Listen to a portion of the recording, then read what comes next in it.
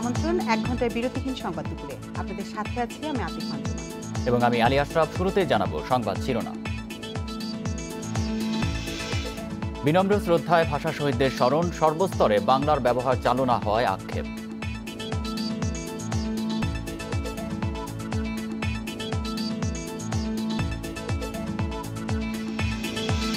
শহীদ মিনারে রাষ্ট্রপতি প্রধানমন্ত্রী শ্রদ্ধা একুশের প্রথম প্রহরে ভাষা শহীদদের স্মরণ।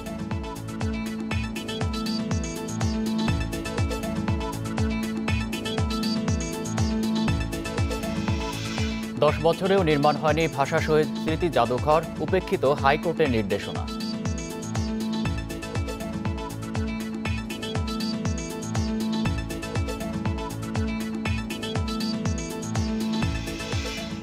ভাষা দিবসে লেখক পাঠকে মুখর অমর একুশে গ্রন্থমেলা, সকাল থেকে মানুষের ঢল।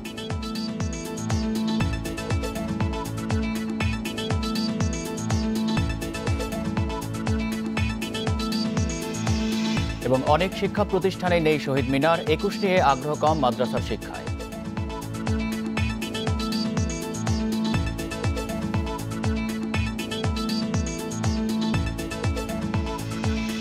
শুনছিলেন শিরোনাম। এবার জানিয়ে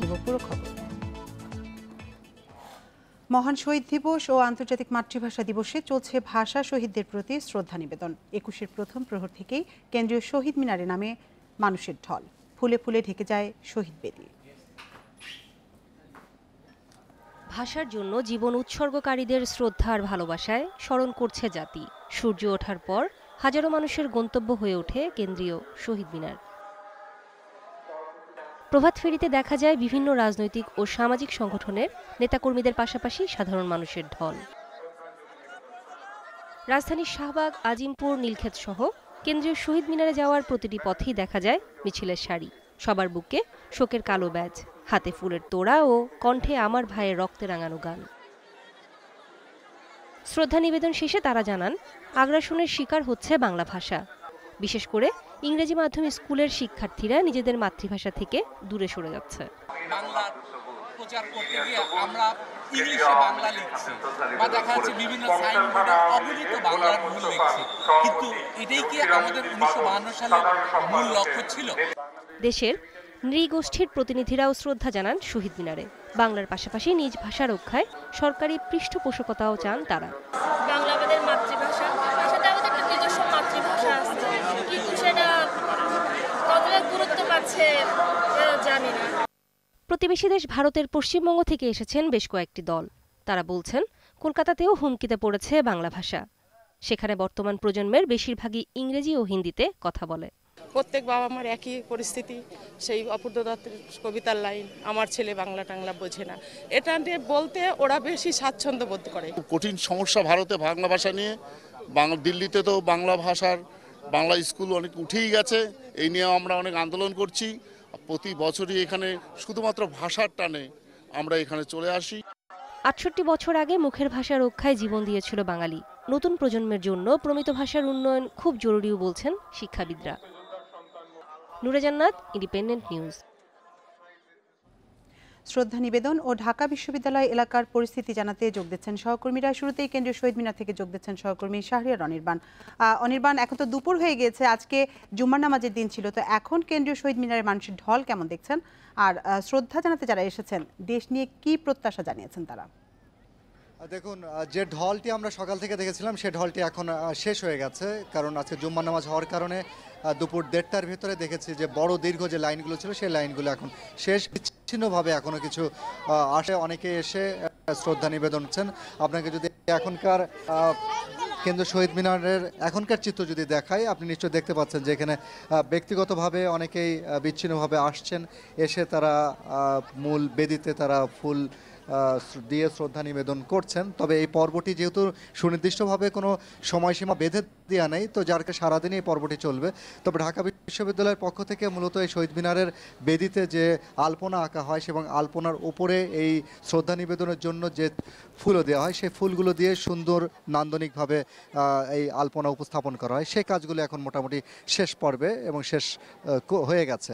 তো আগত যারা রয়েছেন, তারা দেশপ্রেম এবং বিশেষ করে আজকে যেহেতু আহ, মাতৃভাষা জীবন দেওয়ার যে ইতিহাস গড়েছিল বাংলাদেশ বাংলাদেশের বাঙালিরা সেই ইতিহাসের আলোকে আজকে বাংলা ভাষা রক্ষার এবং মুখের ভাষা রক্ষার প্রত্যয় তারা ব্যক্ত করেছেন। এই ক্ষেত্রে পরিবারের পাশাপাশি শিক্ষা প্রতিষ্ঠানের দায় দায়িত্ব আরও স্বচ্ছভাবে এবং আরও মজবুতভাবে পালন করার কথা তারা জানিয়েছেন।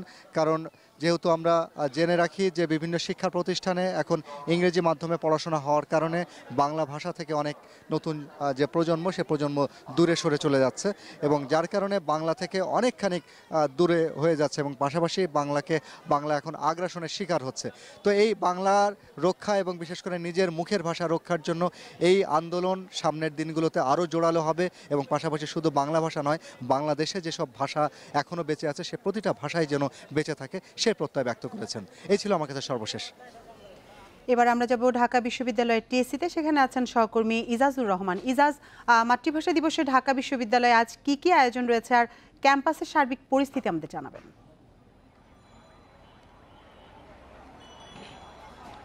ক্যাম্পাসের সার্বিক পরিস্থিতি, ঢাকা বিশ্ববিদ্যালয়ের প্রবেশ পক্ষে যতগুলো প্রবেশ মুখ রয়েছে, প্রত্যেকটা জায়গাতেই কিন্তু পুলিশের আর্চওয়ে থেকে শুরু করে নিরাপত্তা বেষ্টনী পার হয়ে সাধারণ নাগরিকদের কিন্তু ঢাকা বিশ্ববিদ্যালয়ে প্রবেশ করতে হচ্ছে। কয়েকদিন আগেই কিন্তু পুলিশের পক্ষ থেকে বলা হয়েছিল, ঢাকা বিশ্ববিদ্যালয় এবং কেন্দ্রীয় শহীদ মিনার এলাকাগুলোতে চার স্তরের নিরাপত্তা থাকবে।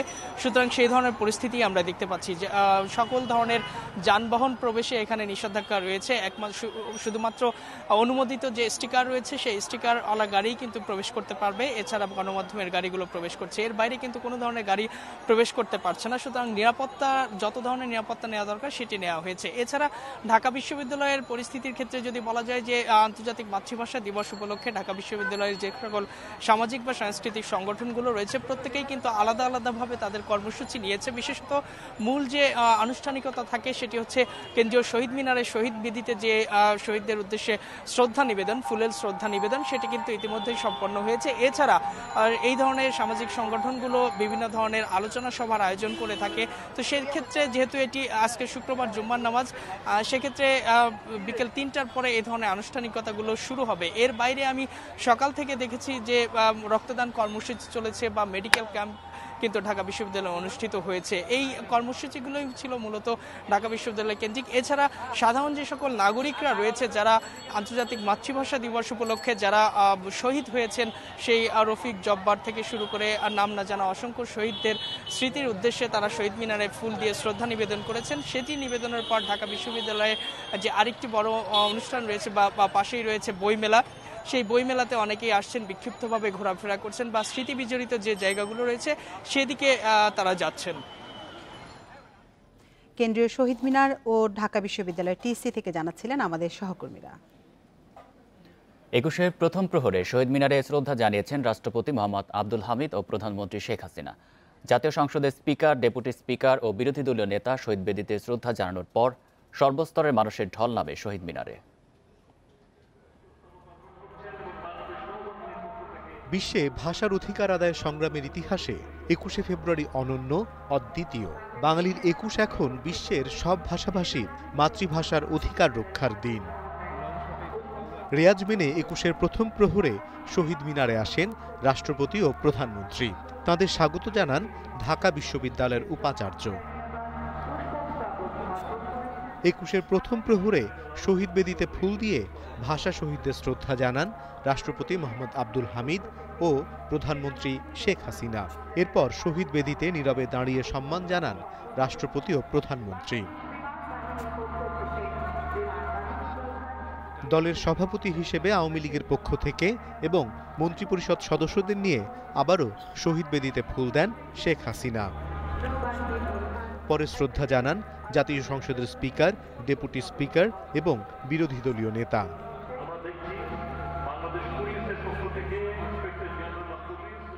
শহীদ বেদিতে ফুল দেন তিন বাহিনীর প্রধান, পুলিশ প্রধান ও বিভিন্ন দেশের কূটনীতিকরা।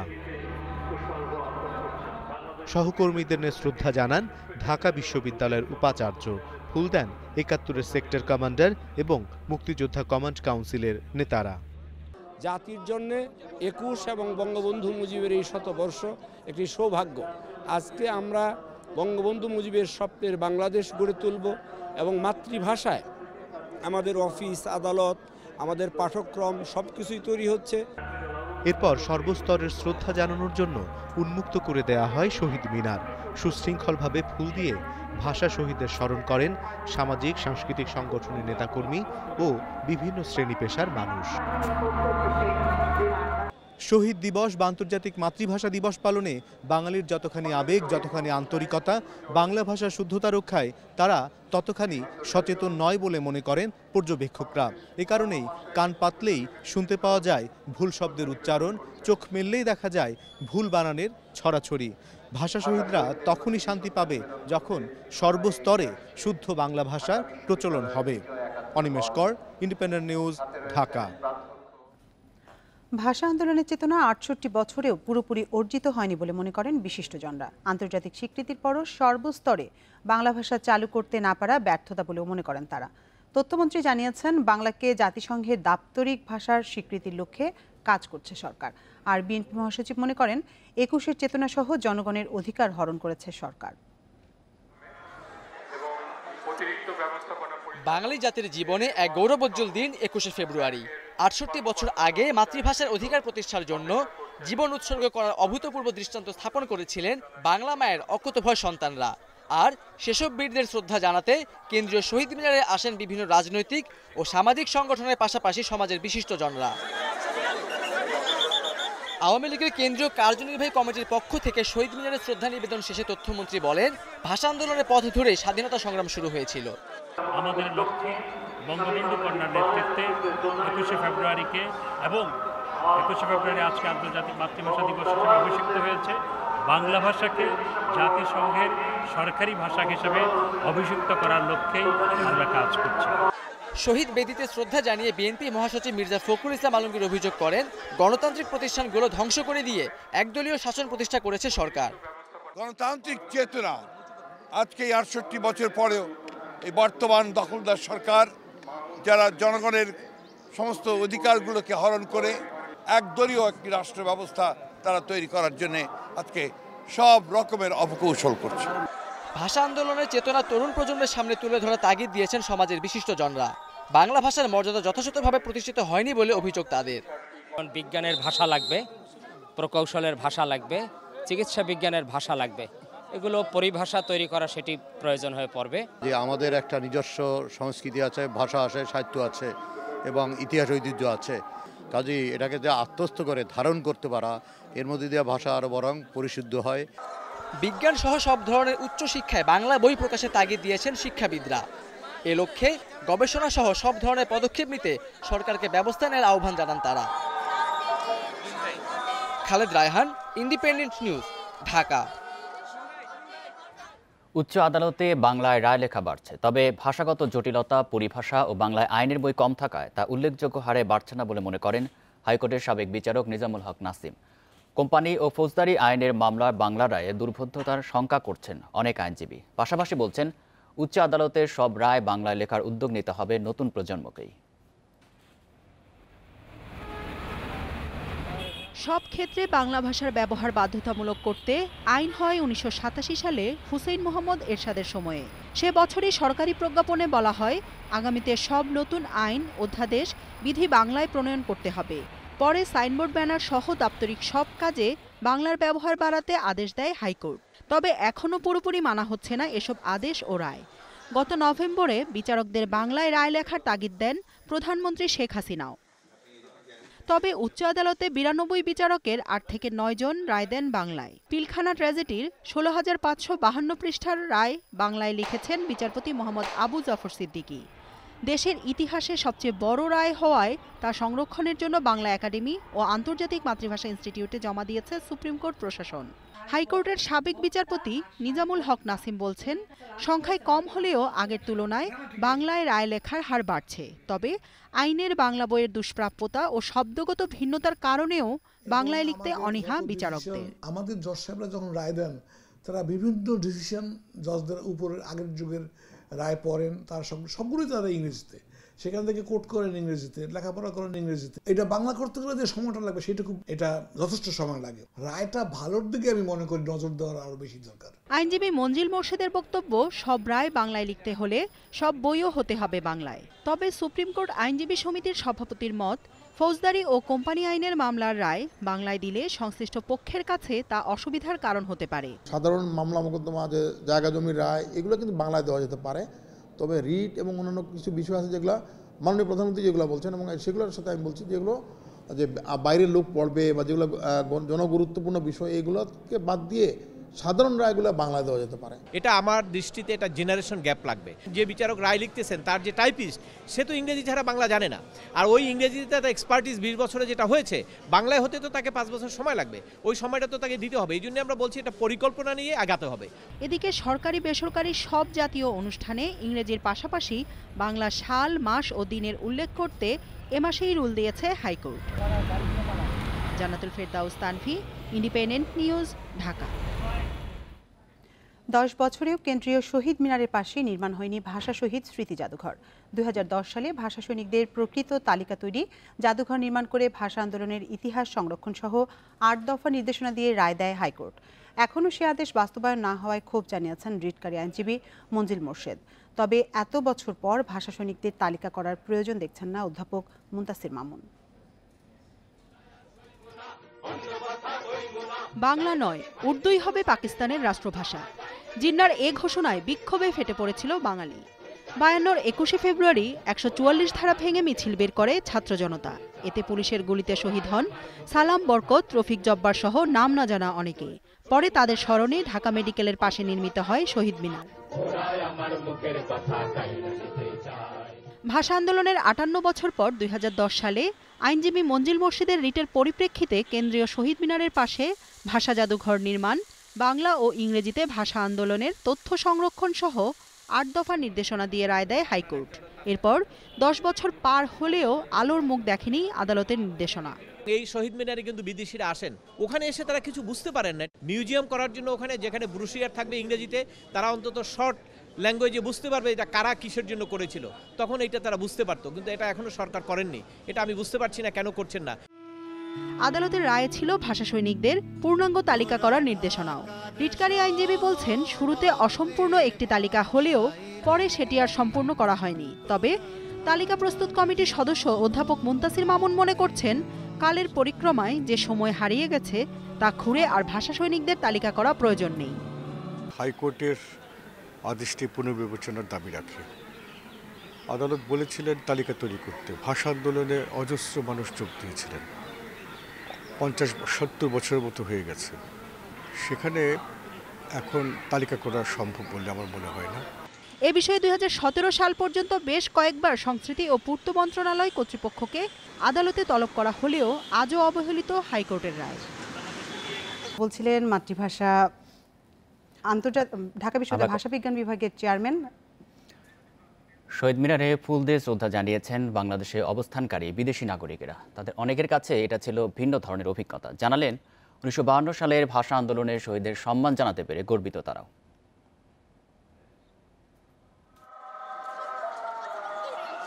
আন্তর্জাতিক মাতৃভাষা দিবস পালনের দুই দশক পার করেছে বিশ্ব।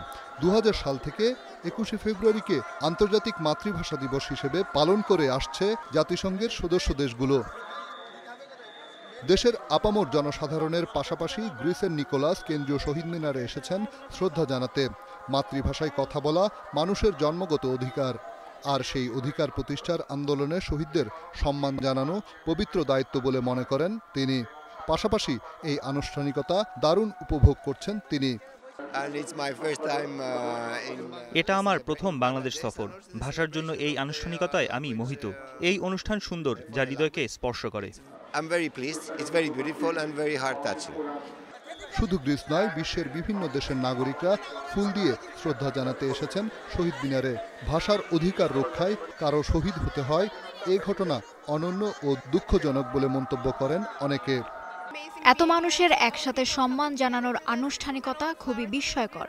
এত ফুল সত্যি আমাকে আনন্দিত করেছে। আমি এখানে এসে খুবই গর্বিত। এই জনসমাগমের অংশ হওয়া সত্যিই সৌভাগ্যের। আমি বাংলাদেশ ভালোবাসি। এখানেই এরকম একটি অনুষ্ঠান হওয়া সম্ভব যা দেশের প্রতিনিধিত্ব করে। বাংলাকে জাতিসংঘের দাপ্তরিক ভাষা হিসেবে গ্রহণের দাবি খুবই যৌক্তিক মনে করছেন এসব বিদেশি।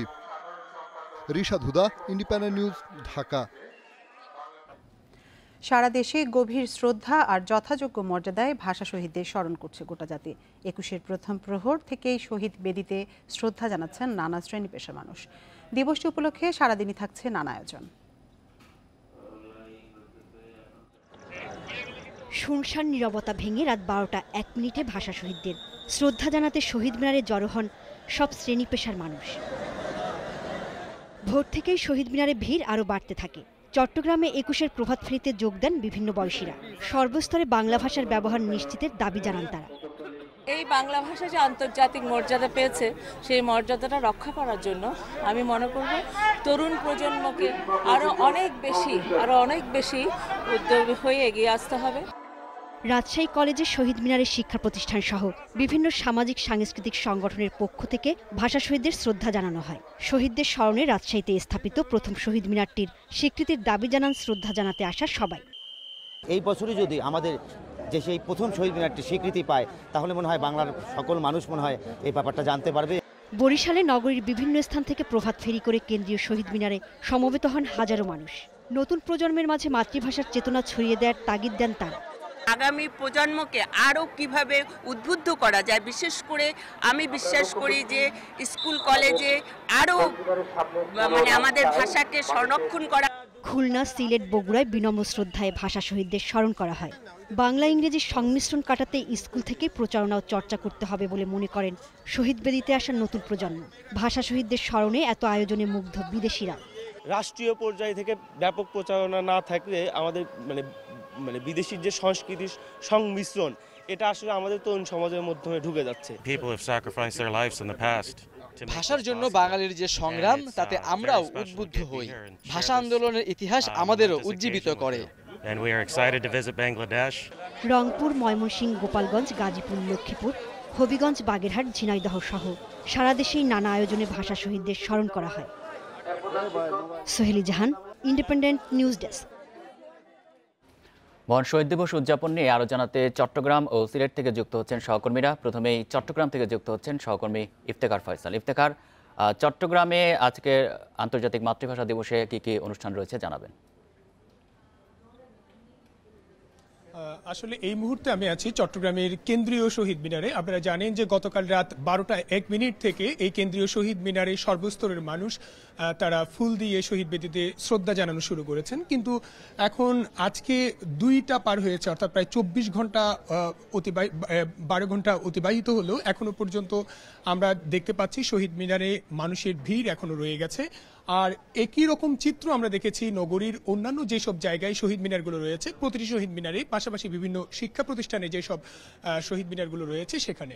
আর এর বাইরে আমরা যদি বলি শহীদ মিনারের বাইরে যে একুশের যে অনুষ্ঠান, সেগুলো হচ্ছে বিভিন্ন প্রতিষ্ঠানের পক্ষ থেকে আয়োজন করা হয়েছে নানা ধরনের নানা ধরনের অনুষ্ঠান। আজকে চট্টগ্রাম সিটি কর্পোরেশনের পক্ষ থেকে পনেরো জন গুণীকে সম্মাননা দেওয়া হবে। অর্থাৎ একুশে সম্মাননা, যেটাকে তারা বলছেন এবং কয়েক বছর ধরে তারা এই সম্মাননা পদক দিয়ে থাকেন।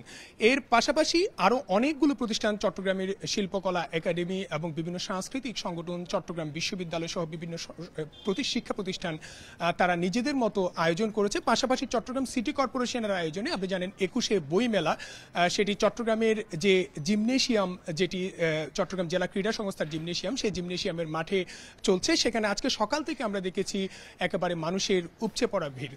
তো এই ধরনের নানা কর্মসূচিতে আসলে একুশ উদযাপিত হচ্ছে এবং যারাই এখানে আসছেন তাদের অনেকের সঙ্গে আমাদের কথা হয়েছে। তারা যেই প্রত্যাশাটুকু রেখেছেন সেটি হলো সর্বস্তরে মাতৃভাষা যাতে নিশ্চিত করা যায় বাংলা ভাষা নিশ্চিত করা যায়, সেই বিষয়টি তারা দাবি তুলেছেন। পাশাপাশি একটি বিষয় তারা বলেছেন, সেটি হচ্ছে বায়ান্নের ভাষা আন্দোলন ছিল অন্যায়ের বিরুদ্ধে মানুষের প্রতিবাদ এবং প্রত্যেকটি অন্যায়ের ক্ষেত্রে মানুষ সেই বায়ান্নের শিক্ষাকে নিয়ে প্রতিবাদী হয়ে উঠবে। এই আশাবাদটুকু তারা ব্যক্ত করেছেন। তো এই ছিল মোটামুটি চট্টগ্রামের আয়োজনের খবর। ইফতেখার, আপনি থাকবেন আমাদের সাথে। আমরা এবার সিলেটের খবর জানব। সেখান থেকে আমাদের সাথে যুক্ত আছেন সহকর্মী মাধব কর্মকার। মাধব সিলেটে একুশে ফেব্রুয়ারির অনুষ্ঠান এখনও চলছে কিনা জানাবেন, আর আজকে আর কি কি প্রোগ্রাম রয়েছে জানাবেন? এই মুহূর্তে আমি রয়েছি সিলেট কেন্দ্রীয় শহীদ মিনারের যে মুক্ত মঞ্চ যেখানটা সাংস্কৃতিক পরিবেশন অনুষ্ঠিত হয়, সেখানটায় গতকাল রাত বারোটা এক মিনিট থেকে আসলে শহীদদের উদ্দেশ্যে এই সিলেট কেন্দ্রীয় শহীদ মিনারে পুষ্পস্তক অর্পণ করা হয়েছে এবং এই মূল কেন্দ্রীয় শহীদ মিনার ছাড়াও সিলেটের যে কয়েকটি শহীদ মিনার রয়েছে, বিভিন্ন স্থানে, বিভিন্ন শিক্ষা প্রতিষ্ঠানে, সেগুলোতেও কিন্তু শহীদ বেদিতে পুষ্পার্ঘ নিবেদন করেছেন। আমাদের জাতির যে শ্রেষ্ঠ সন্তান, যারা আমাদেরকে এই বাংলা ভাষা এনে দিয়েছেন, বুকের তাজা রক্ত দিয়ে তাদের প্রতি শ্রদ্ধার্ঘ্য নিবেদন করেছেন। এবং এই যে রাত বারোটা থেকে আজকে দুপুর একটা পর্যন্ত কিন্তু প্রচণ্ড ভিড় ছিল কেন্দ্রীয় শহীদ মিনারে। এখন কিছুটা মানুষের সমাগম কম। তারপরেও কিন্তু অনেকে আসছেন শিশুরাও আসছে, ফুল দিচ্ছে এবং শ্রদ্ধা জানাচ্ছে, সাথে বড়রাও আসছে, অনেকেই ছবি তুলছেন। এবং যদি বলে থাকি, সকালবেলা যেটি হয়েছে, সকালবেলা একজন ভাষা সৈনিকের হাত দিয়ে সিলেটে বিভিন্ন ছোট ছোট শিশু কিশোরদের হাতে খুলে অনুষ্ঠিত হয়েছে। তারা আজকে একজন ভাষা সৈনিকের হাত দিয়ে অক্ষর লেখা শুরু করল। পাশাপাশি বিভিন্ন সাংস্কৃতিক পরিবেশনা রয়েছে। সম্মিলিত নাট্য পরিষদের আয়োজনে বিকেল চার ঘটিতে ঘটিকাতে হতে চলবে দেশাত্মবোধক গান, আবৃত্তি, বিভিন্ন পথনাটক এবং দুপুরবেলা সিলেট জেলা প্রশাসনের পক্ষ থেকে হয়ে গেছে আলোচনা সভা। একই সাথে রক্তদান কর্মসূচি ছিল। তো সবকিছু মিলিয়ে নানা আয়োজনের মাধ্যমে কিন্তু এই যে ভাষা শহীদদের প্রতি শ্রদ্ধা, অর্থাৎ আন্তর্জাতিক মাতৃভাষা দিবস পালন করা হচ্ছে সিলেটে। চট্টগ্রাম এবং সিলেট থেকে জানাচ্ছিলেন আমাদের সহকর্মীরা। একুশে ফেব্রুয়ারি শুধু শোক নয়, পরিণত হয়েছে শক্তিতে। অধিকার আদায়ের সব আন্দোলনে বাঙালিকে প্রতিনিয়ত পথ দেখায় অমর একুশের চেতনা। বাউন্ডর এই দিনে মায়ের ভাষার অধিকার আদায়ে প্রাণ দেন রফিক, বরকত, সালাম জব্বর সহ নাম না জানা অনেকে। বাঙালির রক্তে অর্জিত হয় বাংলা। ভাষা শহীদ দিবসের উনসত্তর বছর আজ।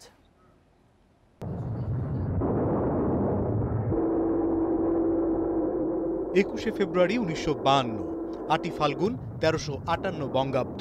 রাষ্ট্রভাষা বাংলার দাবিতে সেদিন প্রদেশ জুড়ে ধর্মঘট। উত্তাল ছাত্র জনতাকে রুখে দিতে ঢাকা বিশ্ববিদ্যালয় এলাকায় একশো চুয়াল্লিশ ধারা জারি করে পাকিস্তান সরকার। কিন্তু মাতৃভাষা বাংলার অধিকারের প্রশ্নে আপোষ করেনি বাঙালি। ঘড়ির কাটায় তিনটা বিশ মিনিট। ঢাকা মেডিকেল কলেজ হাসপাতালের জরুরি বিভাগের সামনে রাস্তা, তৎকালীন আমতলা। কে জানতো, এখান থেকেই ইতিহাস নেবে অন্য মোড়।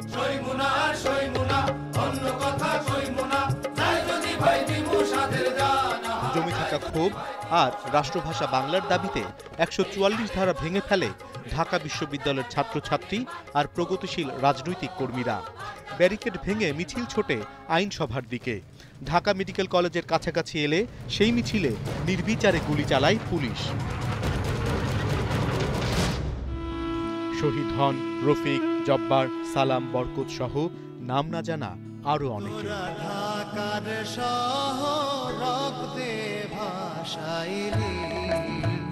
এ খবর দাবানলের মতো ছড়িয়ে পড়ে সারা শহরে। ঢাকা বিশ্ববিদ্যালয় এলাকায় নামে জনতার ঢল। আব্দুর রশিদ তর্কবাগিসের নেতৃত্বে ওয়াকআউট করে আন্দোলনে একাত্মতা জানান কজন আইনসভার সদস্য। শুরু হয় ধরপাকড়। প্রাদেশিক সরকার দাবি মানার আশ্বাস দেওয়ার আগ পর্যন্ত বিক্ষোভ মিছিলে উত্তাল ছিল ঢাকা।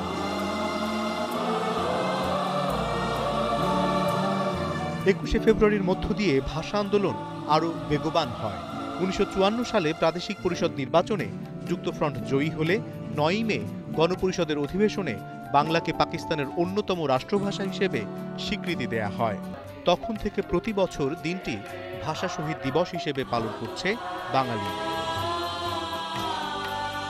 এর পঁয়তাল্লিশ বছর পর উনিশশো নিরানব্বই সালে ইউনেস্কো প্যারিস অধিবেশনে একুশে ফেব্রুয়ারিকে আন্তর্জাতিক মাতৃভাষা দিবসের স্বীকৃতি দেয়। দু হাজার সাল থেকে একুশে ফেব্রুয়ারি পালিত হচ্ছে জাতিসংঘের সদস্য দেশগুলোতে।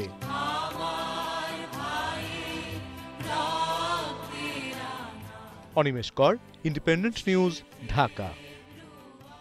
এদিকে মহান শহীদ দিবস ও আন্তর্জাতিক মাতৃভাষা দিবসে জমে উঠেছে অমর একুশে বইমেলা। আজ মেলার প্রবেশ পথ খোলা হয় সকাল আটটায়। চলবে রাত আটটা পর্যন্ত। কেন্দ্রীয় শহীদ মিনারে যারা শ্রদ্ধা নিবেদন করেছেন, তাদের বেশিরভাগই ভিড় করেছেন বইমেলায়। সাদা কালো পোশাক পরে মেলায় আসছেন বইপ্রেমীরা। ছুটির দিন হওয়ায় মেলায় অনেকে আসছেন সপরিবারে। ঘুরে ঘুরে বাছাই করে কিনছেন বই। আগের বছরগুলোর অভিজ্ঞতা থেকে বিক্রেতারা বলছেন, একুশে ফেব্রুয়ারির দিনই সবচেয়ে বেশি ভিড় হয় বইমেলায়। ভালো বিক্রিরও আশা করছেন তারা।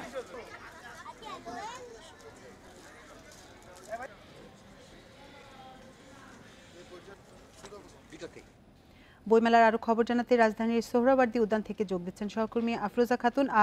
আফরোজা, আপনার কাছে জানতে চাইব যে এই মুহূর্তে বইমেলায় বইপ্রেমীদের ভিড় কেমন দেখছেন? আজকে তো জুম্মার দিন ছিল। আর বেচা কেনা নিয়ে বিক্রেতারা কি বলছেন? আজকে আসলে সকাল থেকেই পাঠক প্রকাশক এবং লেখকদের পদচারণে মুখর ছিল অমর একুশের গ্রন্থমেলা। এবং আমরা সকাল আটটা থেকে ফটক খুলে দেওয়া হলেও সকাল নয়টার পর থেকে কিন্তু পাঠকদের সমাবেশটা বেড়েছে এবং সকালের দিকটা একটু ফাঁকাই ছিল বলা যায়। দশটার দিক থেকে কিন্তু উপচে পড়া ভিড় আমরা যেটাকে বলি সেটাই দেখতে পাচ্ছি এবং এখন পর্যন্ত সেই উপচে পড়া ভিড়টাই কিন্তু মানে অব্যাহত আছে এবং দুপুরের যে বিরতিতে অনেক সময় দেখা যায় যে মেলাতে লোক সমাগম কম থাকে, কিন্তু আজকে কিন্তু তার কোনো প্রভাব নেই। আজকে সকাল, দুপুর সব কিছুই একে, একেবারেই একদম উপচে পড়া ভিড় আমরা দেখতে পাচ্ছি এবং সকালে যে সকাল এগারোটা থেকে দুপুর একটা পর্যন্ত শিশু প্রহর ঘোষণা করা হয়েছে। শিশু চত্বরে সোহরাওয়ার্দী উদ্যানের যে অংশটিতে বইমেলা আছে, সেই শিশু চত্বরের এই শিশু প্রহর ছাড়াও কিন্তু শিশুরা আসছেন। এখন পর্যন্ত তারা অভিভাবক বাবা মায়ের হাত ধরে, তাদের পরিবারের বড়দের হাত ধরে কিন্তু তারা বেলায় আসছেন এবং তারা তাদের পছন্দের বই নেড়ে চেড়ে দেখছেন, খুঁজে নিচ্ছেন তাদের পছন্দের বই। যারা এখন স্কুলে যাওয়ার মতো বয়স হয়নি বা একেবারেই ছোট, তারা একদম ছবি, রঙের বই, ছবির বই এবং বিভিন্ন ছোট ছোট গল্পের বই তারা কিনছেন এবং যারা একটু বড় হয়েছেন, কিশোর যারা এবং যারা স্কুলে যাচ্ছেন, তারা কিন্তু সায়েন্স ফিকশন, বিজ্ঞানের বই এবং কল্পকাহিনী, ভূতের বই পরীর বই, এইসব ধরনের বই কিন্তু তারা খুঁজে নিচ্ছেন। এবং তারা বই পেয়ে তারা ভীষণ খুশি এবং ছোট ছোট বাচ্চাদের সাথে আপনার আমরা আর একটি বিষয় জানতে চাই। বইমেলায় আজকে ভাষা দিবস উপলক্ষে বিশেষ কোনো আয়োজন আছে কিনা?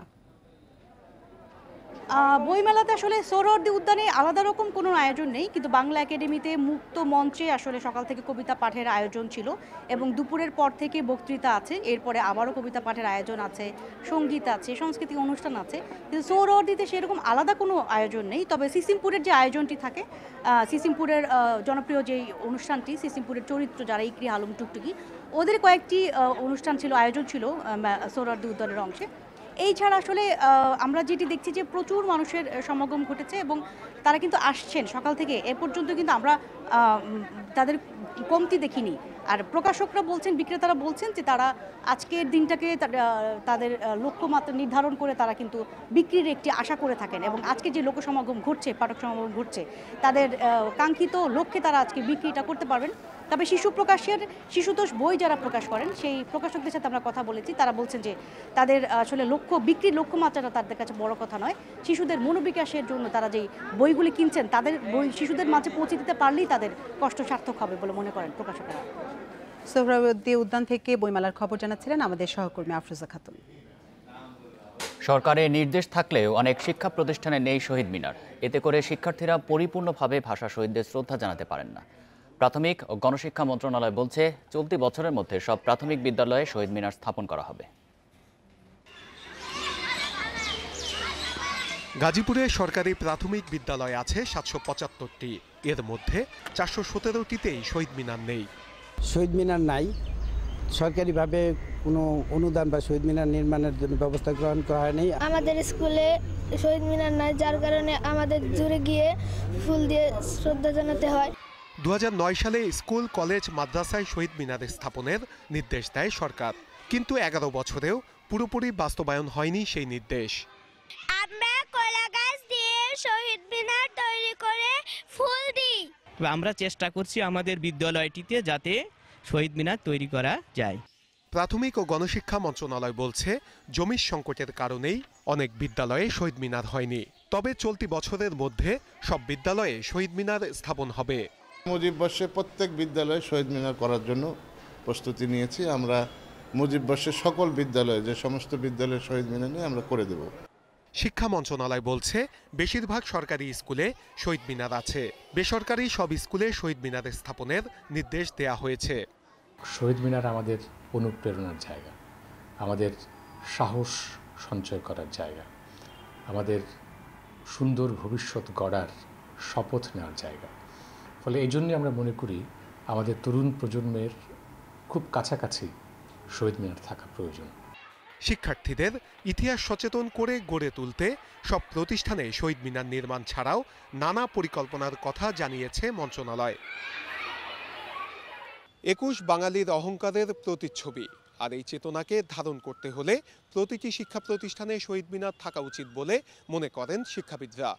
এতে করে শিক্ষার্থীদের মাতৃভাষার প্রতি গভীর ভালোবাসা জন্মাবে, সেই সাথে দেশপ্রেমও জাগ্রত হবে। Nure Alam independent news Dhaka. ভাষা শহীদ, একুশে ফেব্রুয়ারির ইতিহাস সম্পর্কে যথাযথ পাঠদান হচ্ছে না দেশের বেশিরভাগ মাদ্রাসায়। এমনকি শহীদ মিনার করার সরকারি নির্দেশনা মানছে না মাদ্রাসা কর্তৃপক্ষ। এসব বিষয়ে নজরদারি নেই সংশ্লিষ্ট সরকারি দপ্তরগুলোর। বিশ বছর ধরে একুশে ফেব্রুয়ারিকে আন্তর্জাতিক মাতৃভাষা দিবস হিসেবে পালন করা হচ্ছে। অথচ দেশের অধিকাংশ মাদ্রাসার শিক্ষার্থীদের ভাষা শহীদ একুশে ফেব্রুয়ারির ইতিহাস ঠিকমতো পড়ানো হচ্ছে না। সরকারি সিদ্ধান্ত অনুযায়ী ষষ্ঠ শ্রেণি থেকেই সাতচল্লিশ থেকে একাত্তর সাল পর্যন্ত এবং পঁচাত্তরের ইতিহাস মাদ্রাসার শিক্ষার্থীদের পাঠ্যসূচিতে রয়েছে। কিন্তু বাস্তবে এর কোনো প্রতিফলন নেই। একুশে ফেব্রুয়ারি মহান স্বাধীনতা দিবস সেদিন বিশিষ্টরা বিজয় লাভ করেছে। ছেলেরা পারি না পড়া না এগুলো তারা চাইছিল যে আমাদের উর্দু হোক রাষ্ট্রভাষা। কিন্তু আমরা চেয়েছিলাম আমাদের ভাষা বাংলা হবে। যে কোনো জাতীয় দিবস সম্পর্কে শিক্ষার্থীদের যথাযথ পাঠদানের ব্যবস্থা করা হচ্ছে বলে জানান এই কর্মকর্তা। একুশে ফেব্রুয়ারি পালন করার জন্য এবং এর উদ্যোগ নেওয়ার জন্য আমরা তাদেরকে যেভাবে নির্দেশনা দিয়েছি তারপরেও আমরা চেষ্টা করছি তাদেরকে আরও উদ্যোগী করে তোলার জন্য। মাগুরা লক্ষ্মীপুরের মাদ্রাসাগুলোতেও একই অবস্থা। ভাষা আন্দোলনের ইতিহাস বা প্রেক্ষাপট সম্পর্কে তেমন ধারণা দেয়া হচ্ছে না শিক্ষার্থীদের। একুশে ফেব্রুয়ারি হচ্ছে স্বাধীনতা দিবস। নয় মাস যুদ্ধের পর তারা দেশের জন্য প্রাণ দিয়েছিল তাই তাদেরকে আমরা শ্রদ্ধা জানানোর জন্য একুশে ফেব্রুয়ারি পালন করি। মাদ্রাসার শিক্ষকরাও স্বীকার করেন যথাযথ পাঠদান না দেওয়ার কারণেই সঠিক ইতিহাস জানতে পারছে না শিক্ষার্থীরা। যেখানে সেখানে ঠিকমতো প্রশিক্ষণ দেওয়া হয় না। বলা হয় না সেখানে ছেলেরাই পারবে না। মাদ্রাসায় বাংলা ভাষার চর্চা ও জাতীয় দিবস পালনের বিষয়ে নজরদারি করা হচ্ছে বলে জানান এই শিক্ষা কর্মকর্তা। এই ব্যাপারে আমাদের আর কোনো পিছনে নেওয়ার সুযোগ নাই এবং এখন আমরা টাইম টু টাইম এটার মনিটরিং হচ্ছে এবং আমরা খোঁজখবর নিয়মিত নিচ্ছি। শিক্ষার্থীদের জ্ঞানের পরিধি বাড়াতে নানা প্রতিযোগিতাও প্রয়োজন মনে করেন এই কর্মকর্তা। Soheli Jahan independent news desk শরীয়তপুরে Jajira প্রান্তে বসানো হচ্ছে পদ্মা সেতুর পঁচিশতম স্প্যান। চব্বিশতম স্প্যান বসানোর ঠিক দশ দিনের মাথায় উনত্রিশ ও ত্রিশ নম্বর পিলারের ওপর বসানো হচ্ছে স্প্যানটি। এতে দৃশ্যমান হবে সেতুর তিন হাজার সাতশো পঞ্চাশ মিটার অংশ। সকালে মামার কুমারভোগ কনস্ট্রাকশন ইয়ার্ড থেকে স্প্যানটি ভাসমান ট্রেনে করে নেওয়া হয় নির্ধারিত পিলারের কাছে। সেতুর বিয়াল্লিশটি পিলারের মধ্যে নির্মাণ কাজ শেষ হয়েছে, আটত্রিশটির এপ্রিলের মধ্যেই শেষ করা হবে বাকি চারটি নির্মাণ কাজ। আর জুলাইয়ের মধ্যে সেতুতে থাকা একচল্লিশটি স্প্যান উত্তোলনের কাজ শেষ করার লক্ষ্যে কাজ চলছে। এর মধ্যে দেশে এসেছে উনচল্লিশটি স্প্যান। কোভিড নাইন্টিনের কারণে চীন থেকে বাকি দুইটি স্প্যান আনতে কিছুটা দেরি হতে পারে। এখন পর্যন্ত পদ্মা সেতু প্রকল্পের অগ্রগতি সাতাত্তর ভাগ।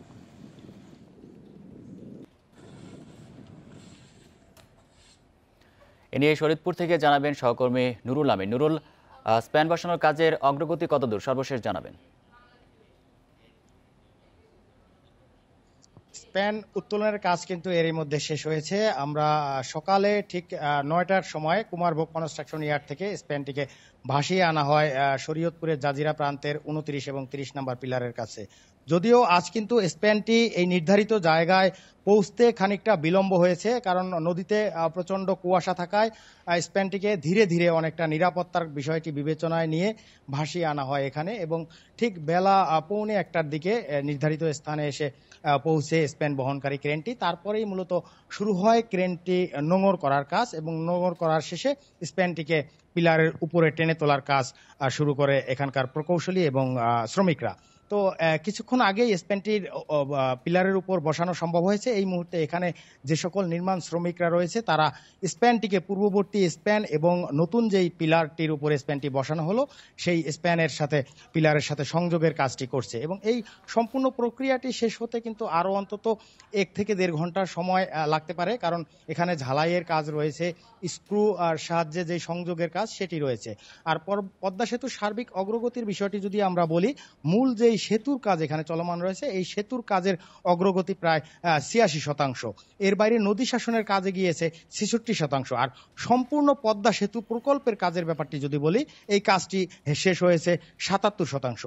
আর এখানে পদ্মা সেতুতে আপনি জানেন যে মোট বিয়াল্লিশটি পিলারের উপর পদ্মা সেতু নির্মাণ করা হবে, যার মধ্যে কিন্তু এরই মধ্যে ছত্রিশটি পিলারের কাজ সম্পূর্ণ শেষ করা হয়েছে এবং বাকি যেই ছয়টি পিলার রয়েছে তার কাজও এবছর এপ্রিল মাসের মধ্যে শেষ করে আনা সম্ভব হবে এমনটা কিন্তু আমাদেরকে জানিয়েছে সেতু কর্তৃপক্ষের পক্ষ থেকে আমাদের জানানো হয়েছে।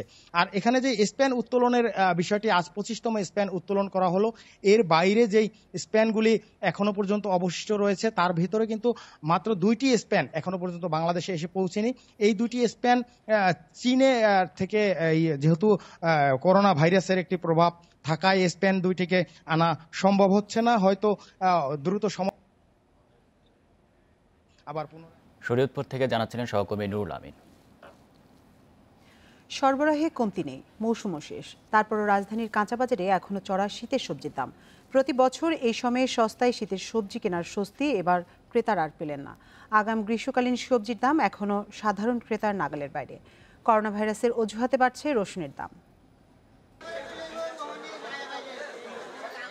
সাপ্তাহিক ছুটির দিন একই সঙ্গে আন্তর্জাতিক মাতৃভাষা দিবসের ছুটি।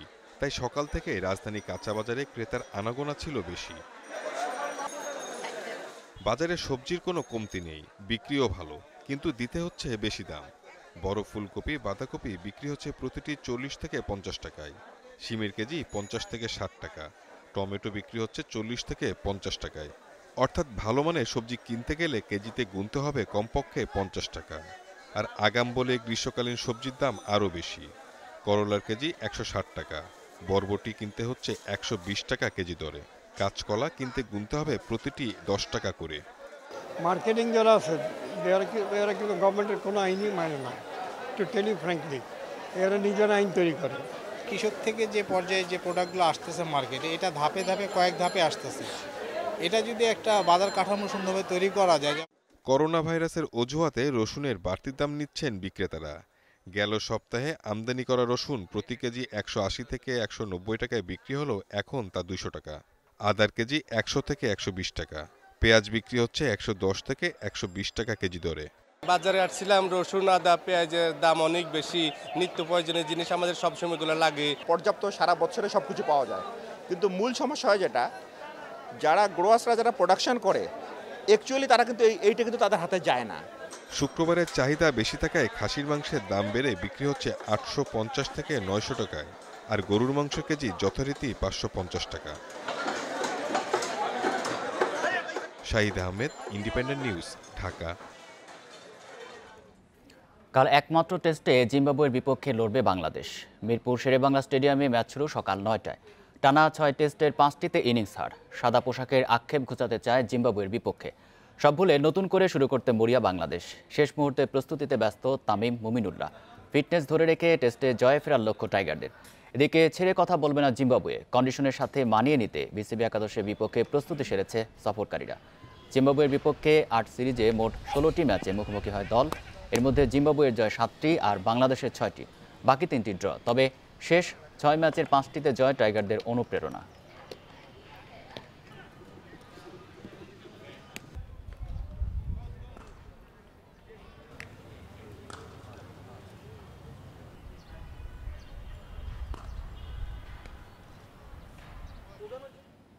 নারী টি টোয়েন্টি বিশ্বকাপের উদ্বোধনী ম্যাচে অস্ট্রেলিয়ার বিপক্ষে টস সেরে ব্যাটিংয়ে ভারত, এ নিয়ে আরও জানাতে বার্তাকক্ষ থেকে যোগ দিচ্ছেন সহকর্মী কামরুল হাসনাত। কামরুল ঘরের মাঠে অজিদের লক্ষ্য জয় দিয়ে শুরুর।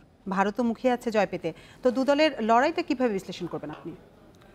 আচ্ছা দেখুন অস্ট্রেলিয়া কিন্তু এই মুহূর্তে পাঁচবারের বিশ্ব চ্যাম্পিয়ন এবং তারা কিন্তু এই প্রথম অস্ট্রেলিয়ার মাটিতে প্রথমবারের মতো নারী টি টোয়েন্টি আয়োজিত হয়েছে। এদিক দিয়ে বলাই চলেছে তারা আসলে অনেক শক্তিশালী। এই বিশ্বকাপের জন্য তারা অনেকটা ফেভারিট দল হিসেবে এসেছে।